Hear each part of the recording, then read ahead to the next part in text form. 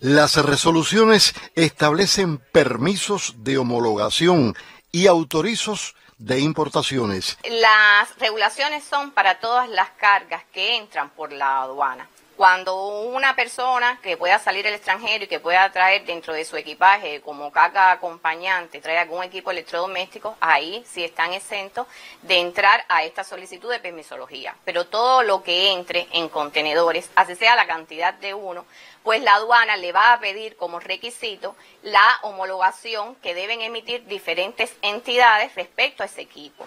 Los textos señalan disposiciones generales referidas al uso racional y eficiente de la energía. Toda persona, natural o jurídica, y entiéndase por jurídica, que puede ser privada o estatal, que decida importar equipos electrodomésticos a Cuba, tiene que cumplir con lo establecido en las resoluciones 235 y 236 del Ministerio de Energía y Minas. La ONURE valida los requisitos técnicos en electrodomésticos en correspondencia con su eficiencia energética, tropicalización y la seguridad eléctrica. El Ministerio de Comunicaciones confiere permisos en el caso de los televisores y el Instituto de Refrigeración emite la aprobación ante medios de clima y refrigeración. Si el equipo no está homologado en nuestros laboratorios, lo primero que tienen que hacer es, antes de comprar, enviar muestras a los mismos para nosotros hacer las pruebas correspondientes.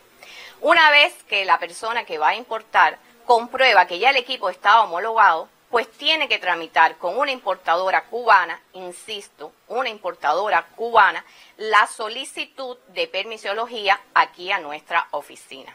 Este laboratorio, único de su tipo en Cuba, estudia y realiza diversos ensayos para certificar la eficiencia energética de un producto.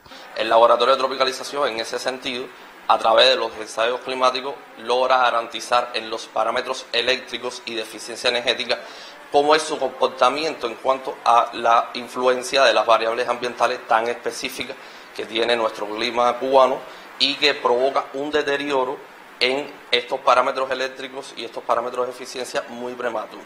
Estadísticas oficiales reflejan que en los últimos meses Cuba reporta una tendencia al crecimiento en importaciones de estos equipos. Antes de comprar un equipo hay que comprobar en nuestro sitio web si ya el equipo está homologado por nuestras oficinas porque si se compra y se trae y no está homologado, simple y llanamente nosotros no podemos responsabilizarnos con darnos la permisología para su entrada. A propósito del listado de equipos homologados en el país, este, según directivos, se actualiza y publica cada mes en el sitio web de la ONURE. No podemos permitir incorporar cargas ineficientes al sistema electroenergético nacional.